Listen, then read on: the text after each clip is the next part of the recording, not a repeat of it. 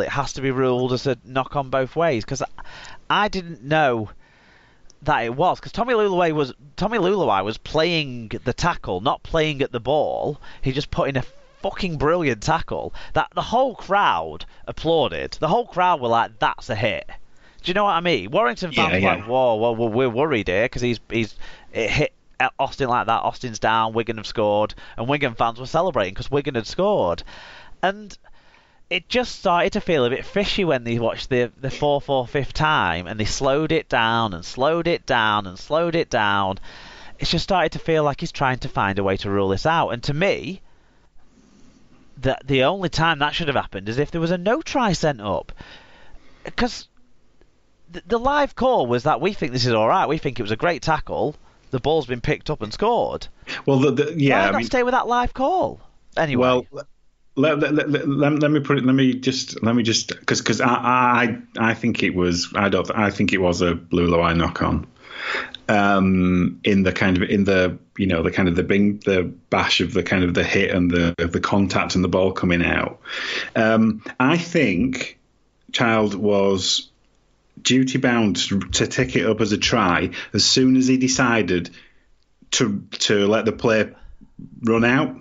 Right, As soon okay. as he'd made that decision, he can't he can't then go behind the po- uh, behind the post and say, "Oh, I've got I've got no try." Well, he because can. that well, he could, but I don't think I don't Right, oh, hold on. anyone ever saying that. Yeah, but if if Dan Sargent had been tackled by Goodwin, It'd have been play on. Goodwin, Goodwin, Goodwin, and then the next play Wigan had have scored, Yeah, every no one would have gone back and analysed that tackle and thought, hold on, there's a knock on there. No one would have, no, and we would have watched that tackle over and over again because it set up the position for the try.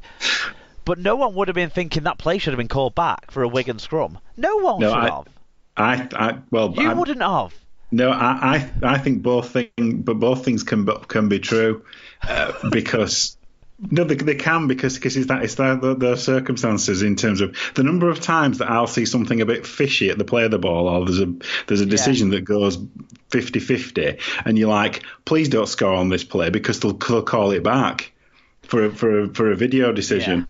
You know, the, the number of times you kind of think, oh, if you could just be tackled here and then just just stroll in on the next one.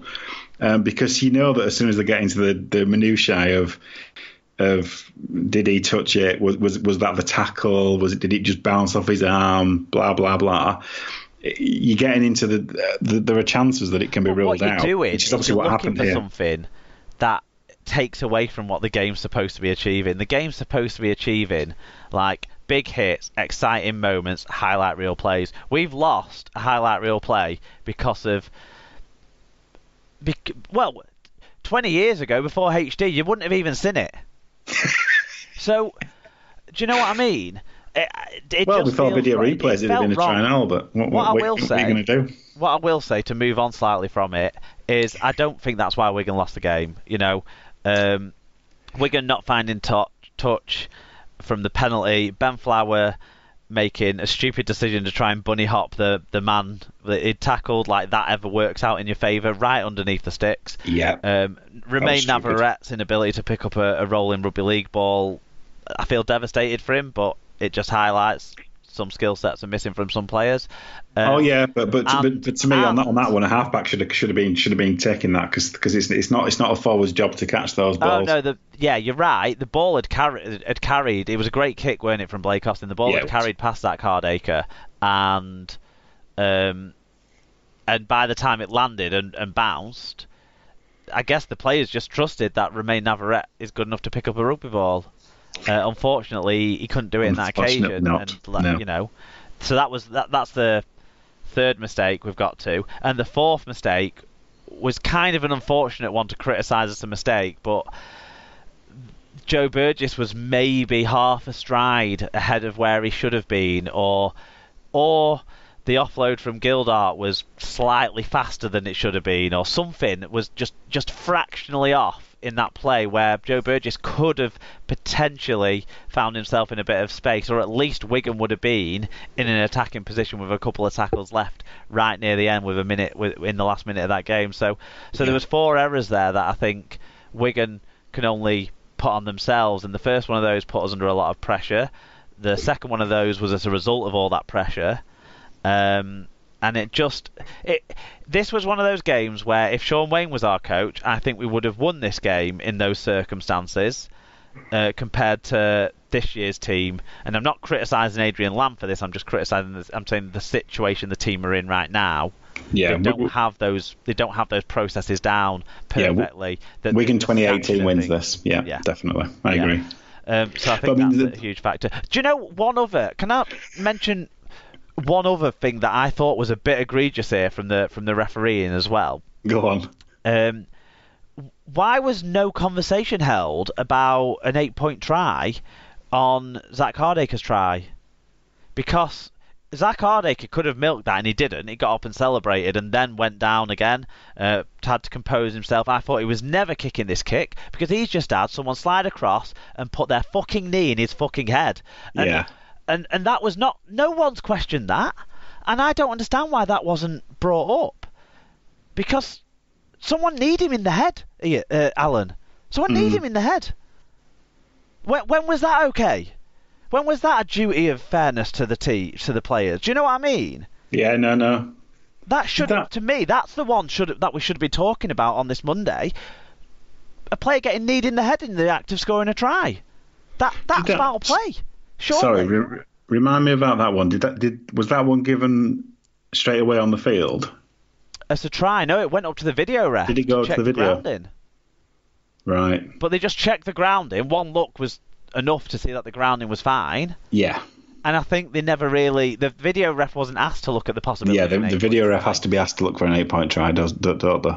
And I yeah. don't think anyone was really considering it either, to be honest. And maybe even live, I might not have picked up on it. It was right down the other end of the pitch, so I can't say for sure. But on the replay, to me, it looked like someone needs someone in the head. No! a. Well, yeah, he, he, certainly copped a hit. I mean, th- Yeah. th- there's there's no doubt about that. I, th- I think there's it, it's a that to difficult me was the one, isn't bigger it? decision against Wigan. However, I go back to my point that Wigan lost this game because of their own errors and two sloppy tries, one just before half time, where maybe that could be called into question because Zak Hardaker appeared to try and kick the ball out of the out of um, the hand of the player, which I, I I think maybe if Jack Hughes hadn't have got it down, there might have been a question about a penalty try, but not an eight-point try because it wasn't dangerous play because it was his hand, not his head. So maybe that's where that came about. But the Ryan the Ryan Atkins try was a one-on-one miss that contributed to that, and Yeah. uh, and unfortunately, that and Stefan Ratchford's phenomenal goal kicking. Ratchford and Clark were fantastic. For, yeah, I, for I, I, I, did want to say. Um, I did want to say that I thought um, I thought um, the change of pace that Warrington made in terms of bringing uh, Akauola and Murdoch Masila on was quite crucial to Clark's try just before half time. Yes, yeah. to me, to me, that that, that obviously that you know it's, it's it's a crucial try in the in the final reckoning, um, and that, that was the a Wigan prop forward who'd been on the field three minutes, couldn't have the fucking gas to make five yards to make a tackle. But and that's another mistake by Wigan that caused us the cost of it. yeah. Yeah, I, I, I prefer to praise the, the play of Clark, but anyway. Um, No, you're yeah, right. no, That's just my frustration boiling. Yeah, no, no, I Clark, understand. Clark was And- brilliant. Ratchford was brilliant. Akauola made an impact.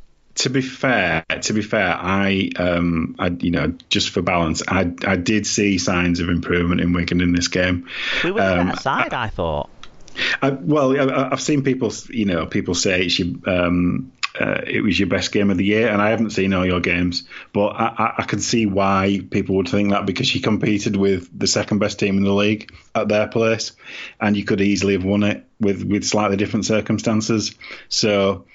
Um, you're in a downside better position than Leeds are. Let's just put it that way.